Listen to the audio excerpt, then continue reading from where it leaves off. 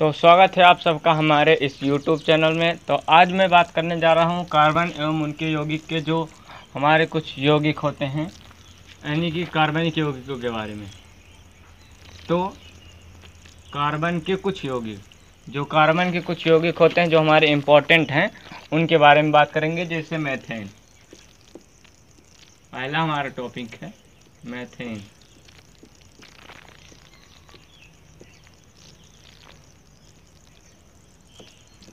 तो मेथेन के बारे में बात करेंगे। जो ये मेथेन होता है, हमने पढ़ा था सी यानी H two N plus two ये हम पढ़े थे, ये क्या हमारा था? एल्केन था। एल्केन था, और एल्केन में हम अगर एक रखते हैं सी का एक होगा और एच कितना होगा? एच इंटू वन करेंगे तो वन होगा और वन प्लस टू मतलब सी एच फोर और सी एच फोर मैथेन। ये एल्केन श्रेणी का क्या होता है? प्रथम सदस्य होता है। एल्केन श्रेणी का ये प्रथम प्रथम सदस्य होता है और इसका जो हमारा क्या कहते हैं? अणुसूत्र होता है। अणुसूत्र जो होता है। अणुसूत्र सी एच फोर होता है। जब हम एक रखते हैं तो हमारा जो आता है, वही क्या होता है हमारा? वो होता है मेथेन पहला जो हमारा यौगिक होता है, वो मेथेन होता है। एल्केन श्रेणी का प्रथम सदस्य जो हमारा होता है मेथेन होता है। यह, हम लिख सकते हैं, यह एल्केन श्रेणी का प्रथम प्रथम सदस्य है। इसके, इसका जो क्या कहते हैं, इसे मार्स गैस भी कहते हैं। क्या कहते हैं? मार्स गैस कहते हैं क्योंकि ये जब वो, क्या कहते हैं, बहुत साल साल पहले जब मतलब पृथ्वी ख़त्म हुई थी तो बहुत सारे पेड़, पौधे जीव जंतु जो थे, पृथ्वी के तल के नीचे जो थे, हमारे दब गए थे। तो वही से क्या, उसमें से ही मैथेन गैस निकली है। और जैसे कोई भी चीज़ अगर सड़ जाता है या पृथ्वी के नीचे दब जाता है तो वहीं पर से मैथेन गैस उत्पन्न होती है। तो इसीलिए इसे हम मार्स गैस कहते हैं। तो मेथेन को हम मार्स गैस भी कहते हैं क्योंकि यह दलदल और वो क्या कहते हैं, वनस्पतियों और जंतुओं के सड़ने से यह उत्पन्न होती है, इसलिए हम मार्स गैस कह सकते हैं। तो ये है। और उसके बाद इसकी बनाने की जो विधि है मेथड्स ऑफ़ प्रिपरेशन मतलब इसकी जो बनाने की विधि हो कौन कौन सी विधि हो सकती है, इसके बारे में हम डिस्कस क्या? मेथिल आयोडाइड से डाइट से। मैथिल आयोडाइड से किस प्रकार से प्राप्त करेंगे, ये हम देखेंगे।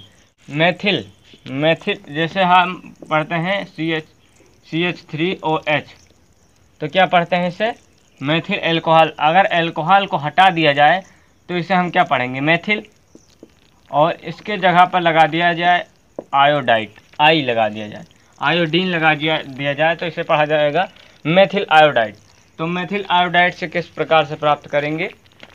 मेथिल आयोडाइड की क्रिया। Methyl C H three I methyl iodide की क्रिया किसकी उपस्थिति में? सी यू कॉपर की उपस्थिति में हाइड्रोजन से कराने पर मेथिल एल्कोहल ओ सॉरी क्या बनता है? मेथेन बनता है।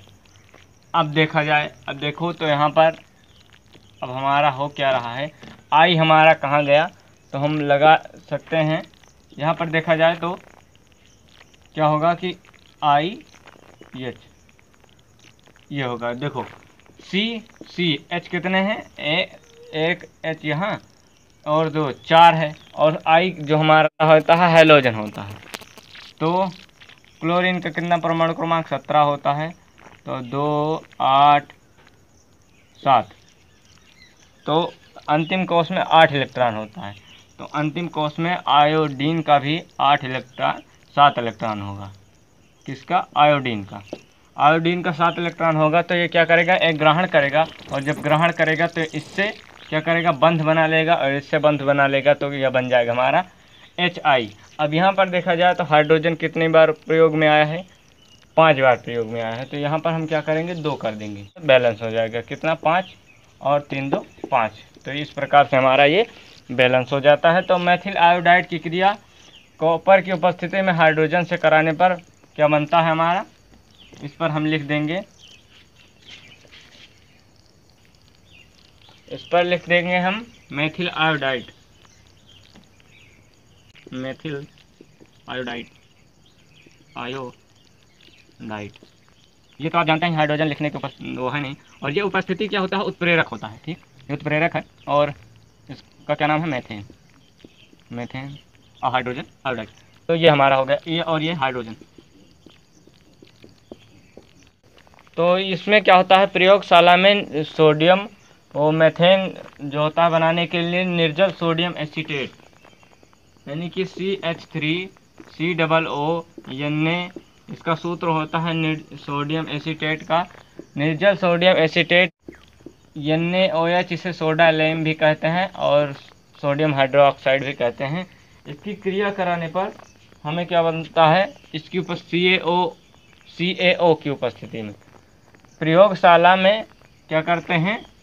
निर्जल सोडियम एसीटेट एसीटेट को सोडा लाइम। और ये निर्जल सोडियम एसीटेट, निर्जल सोडियम एसीटेट। एसीटेट। ये हमारा हो गया निर्जल सोडियम एसीटेट। तो इसका ऐसे गर्म करते हैं तो क्या बनता है हमारा? मेथेन बनता है।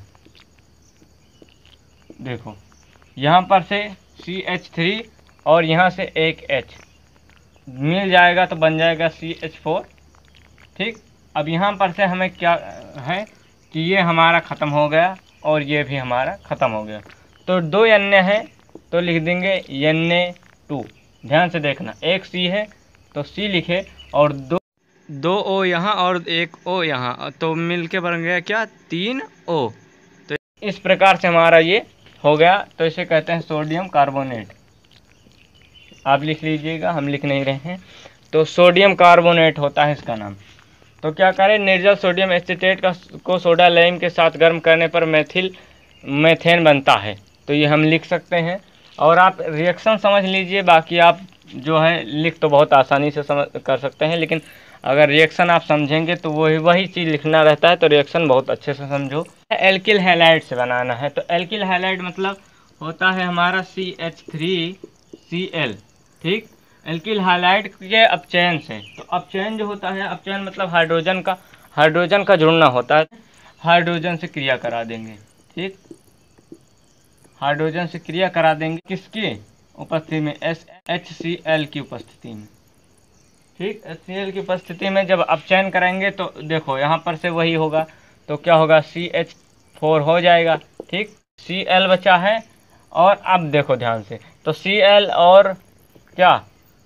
सी एल अकेले तो बनेगा नहीं तो यहाँ पर क्या होगा कि बनेगा यहाँ पर हमारा एच सी एल। ठीक? और जो एस सी बनेगा तो देखो यहाँ पर तीन एक चार हाइड्रोजन और बन गया। उसके बाद यहाँ पर एक हाइड्रोजन है, यहाँ पर पाँच हाइड्रोजन है और यहाँ पर देखा जाए तो चार हाइड्रोजन है। तो यहाँ पर हम दो कर देंगे। ये तीन दो पाँच, यहाँ पर चार एक पाँच। तो इस प्रकार से होगा। तो क्या क्या होगा कि एल्किल हैलाइड के अपचयन द्वारा क्या करते हैं? एल्किल हैलाइड के अपचयन द्वारा क्या प्राप्त करते हैं? मेथेन प्राप्त होता है। और मेथेन के साथ ही आप लिख सकते हैं कि एचसीएल भी प्राप्त होता है। एच मतलब hydro hydrogen hydrogen chloride hydrogen chloride भी बनता है। ये भी आप लिख सकते हैं, ये तो हमारा मेथेन है। मेथेन एल्किल हैलाइड लिखते हैं एल्किल हैलाइड देखो हैलाइड किस लिए कह रहे हैं। इसे हम एल्किल ही कहते हैं। ये जो होता है, और हेलाइट जो है हैलाइड जो होते हैं halide fluorine chlorine bromine iodine ये हमारे जो होते हैं, ये हाईलाइट होते हैं, इसलिए कहते हैं इसको हैलाइड एल्किल हैलाइड कह रहे हैं इसलिए। ठीक? तो अब ये हुआ। अब देखेंगे हम भौतिक गुण।